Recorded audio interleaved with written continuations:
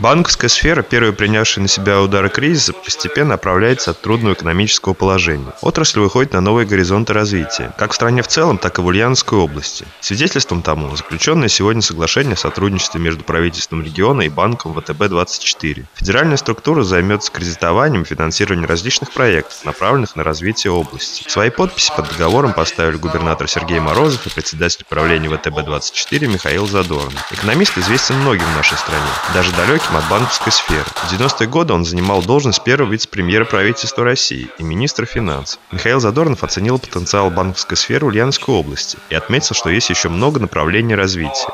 Здесь что я могу сказать про э, банковскую систему Ульяновской области? Она достаточно насыщена, то есть с точки зрения вот, сравнения с другими территориями, банковская система достаточно сильно развита на территории Ульяновской области не столько даже, может быть, число отделений большое, сколько именно проникновение банковских услуг. Мы это видим по всем э, показателям. Поэтому конкуренция здесь э, сильная, такая здоровая конкуренция. Доступ к качественным услугам должны иметь не только жители городов. В области уделяется большое значение развитию села, на поддержку аграрного сектора выделяются огромные средства. И это одно из приоритетных направлений работы банка. Наверное, одним из самых лучших известий этого года стало вот решение банка ВТБ-24 э, прийти э, в сельскую территорию.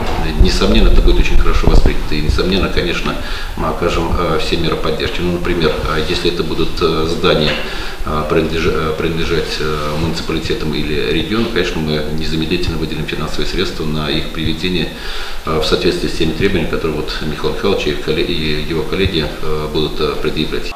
Ульяновск выходит на рекордный темп строительства и ввода в эксплуатацию жилья. Требуются хорошие условия для покупки недвижимости. Михаил Задорнов высоко оценил действующую в области программу губернаторской ипотека. Банк заинтересован в участии в ней.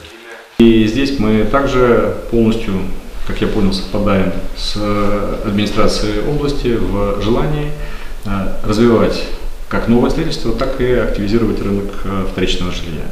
Два года была сейчас госпрограмма, вы знаете, льготная ставка по ипотеке на новостройку. А, она заканчивается к началу следующего года, поэтому будет некоторое распределение рынка на вторичное жилье.